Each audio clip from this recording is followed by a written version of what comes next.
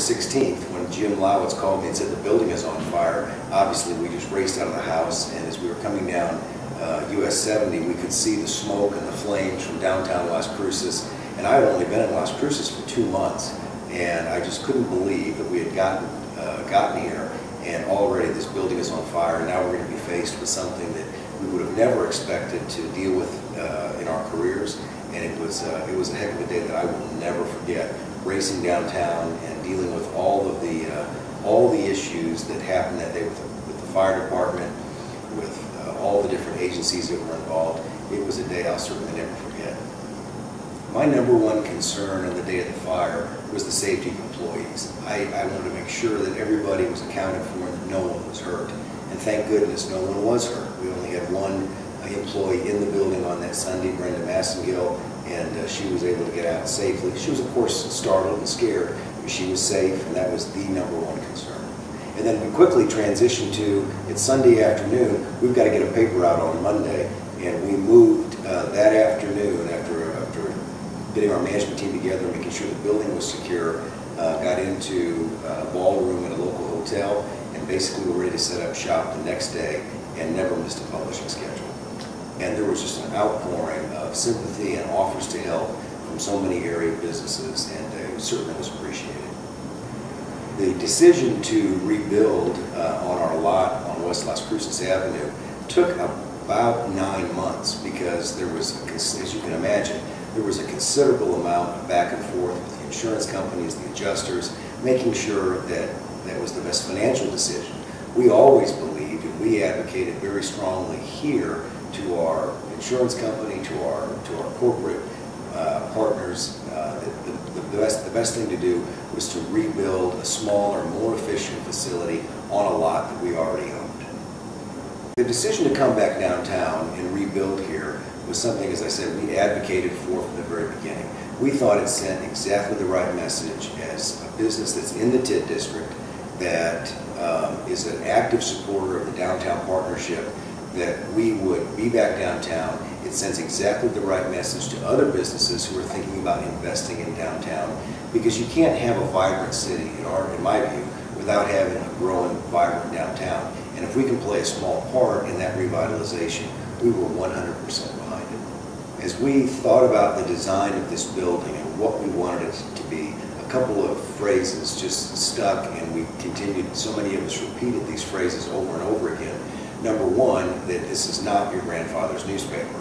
We wanted a modern, efficient, contemporary design that gave our employees open workspaces, clear, clean, safe environment to, to do their jobs.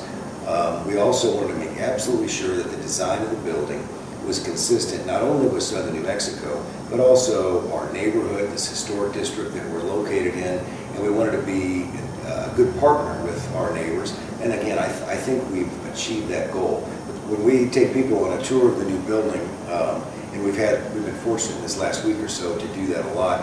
One of the things that always jumps out at them, and this was a conscious decision on our part, and that was to make sure that the dominant visual element in the building represented the work of the employees who've been with this company over the last 130 years. So as you as you look around this building, you'll see little over 30 historic front pages from the Sun News. And, and when people walk through this building and they stop and they look, and they're not just the obvious historic front pages, World War II ended, or President Kennedy was killed, or President Nixon resigns, but there's a strong element of local things that happen in Las Cruces, and it's really interesting for people to see how their daily paper covered those events.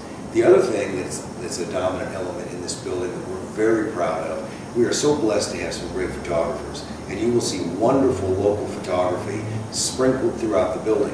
We're not done yet. We're still working on adding more interesting visual elements that support our, our journalists and our photographers. But that's the thing, just in addition to the fact that it's clean, it's open, and, uh, it really sends the right message uh, to the community. And it's consistent, again, with that vision that we've been talking about. When you, when you look at some of the open spaces in this building, especially the conference rooms, there's a strong digital presence. Clearly, digital is the future of our business. And we have, I think, I have to go back and count, I think we have eight TVs planned for this building. They're all going to be connected in some way to the internet so we can show not only our website, but also display our applications for the tablets that are out there, whether it's Apple or Android. Also be able to show our customers what their ads would look like and what the experience is like on a mobile device, because obviously when you look at a computer screen to a tablet screen to a smartphone, there's a considerable size difference, and that message needs to change. And so we want to make absolutely sure that every piece of this, this building is connected to the internet, preferably wirelessly, because we, again, we believe that's the long-term future of the business. And we want to make sure that we can, when we have customers in, our advertisers, our partners, in to talk about the solutions that we have, that we can demonstrate them in a way that, that, that they can understand and also helps them craft the kind of message and the shape of that message for the different digital platforms that we offer. When you first walk into the lobby of the building, you'll see a couple of things. Number one, it's open and clean, and you'll also see our website prominently displayed, so, and it's being refreshed every few minutes, so people can see exactly the kind of digital presence that we have uh, right there in our lobby. We also made available uh, several computers, again, that are connected to the internet, so when people are waiting or they want to come in and, and be part of that community engagement with, with the news department or place a classified ad or just browse the web, it's available for them to be able to come into our lobby and utilize some of the space that we've dedicated uh, for their for their web browsing. When we look to the future of the news business, the formats and the way the news is delivered is evolving and will continue to evolve. But if I had to look forward to the next five years, I think there clearly will continue to be a, a print edition of the Las Cruces Sun News that we can be very proud of. And our, cha- our challenge as a news organization is to make sure, because we are the largest news gathering organization in this community, and we're, we are putting the most resources against news gathering in this community, but we have a special responsibility and a special place in the community to make sure that we're telling those stories. Our obligation is to report the news, tell the stories, and then put it in the platform or the vehicle the way the reader wants it. So if they would prefer to consume news through an app on their phone, great, we're going to be their number one news source. If they want to consume news through an app on their tablet, that's great, we want to be their number one news source. If they prefer to get it at a desktop, at their desk or their home office, great, we want to be their number one news source. And we continue to deliver by far and away the largest audience in print in this market, and that's very, very important. Uh, and we continue, we plan to continue to do that. So our goal is to get the information out in the format that the reader wants it, and we are so fortunate to reach a little over 80% of this market every week with all of our different products. I think our employees um, are thrilled to be in a new building, especially some of those folks who worked at the old building.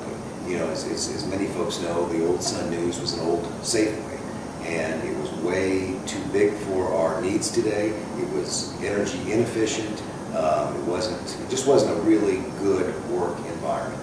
And so, for those folks who experienced the old Safeway building, the old Sun News building, and now to come into this building, it's a significant difference. And I think I, I have just received so many positive comments from our employees and folks in the community that the building is a good design, it seems to have a good workflow to it.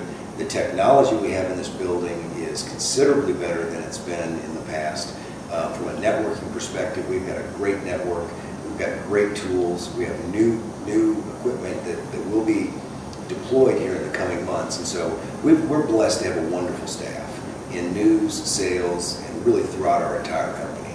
And, and, and we want to make sure that we're giving them every opportunity to be successful and to tell their stories, to take their pictures, to work with customers, and put together solutions.